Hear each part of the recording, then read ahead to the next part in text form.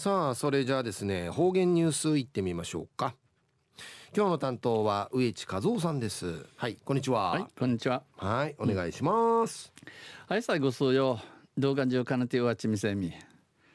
さて昼夜軍月の13日。旧暦うちなぬくいめ昼夜4月の6日にあたといびん。6日にあたといびん。中琉球新報の記事からうちなのニュースをしてさびら中のニュースを世界歌人交渉扶助機関協会の日本沖縄文会が発足。でのニュースやびん。もしかさんや。台湾にルーツを持つ女性経営者らで作る世界歌人交渉扶助機関協会の日本沖縄文会があさって15日に発足します。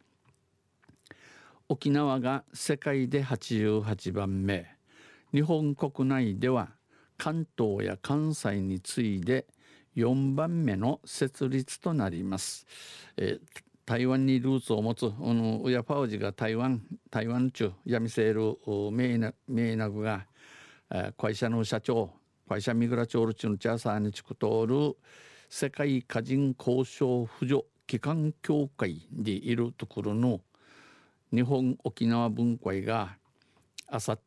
ての15日にウッタチャビン発足します。うちなや世界死刑うて88番目日本うて関東関西にちいち4番目と内便協会の国際批准委員でもある荒垣淳子氏が沖縄文会の会長に就任します。沖縄文会はおよそ25人が入会し発足します。あさって那覇市内のホテルで創立大会と祝賀会を開きます。台湾などからも関係者およそ200人が出席します。この世界歌人交渉扶助機関協会の国際批准委員ちとみと見せる荒垣純子さんが内縄文会の会長会就任記者委員。この沖縄文化委員会やイークル25人が入会しイヤーに一致立ち上げや便発足します。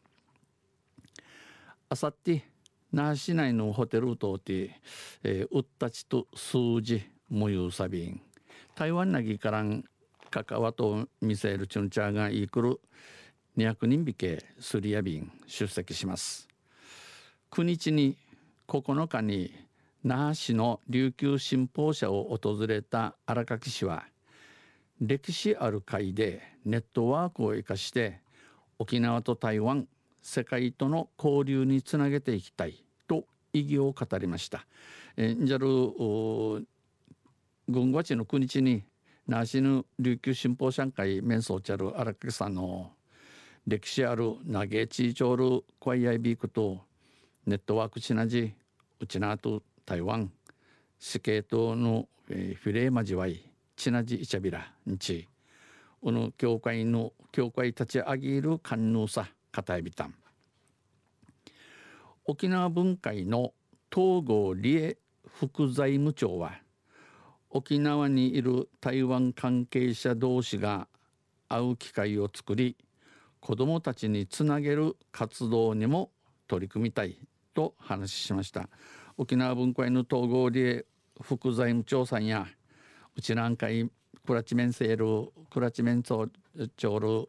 え、台湾と関わりのアミセールチュヌチャーが、えー、いちゃいることなゆいこれから後のことんまたわらわらびんちゃん会員ちなじいちるといくみさびんんちお話さびたん中夜世界歌人交渉扶助機関協会の日本沖縄文化が発足んでのニュース、えー、にあるとかの琉球新報の記事から打ち手さびたんまた水曜日ゆしレビラ二平デビル、えー、今日の担当は植地和夫さんでした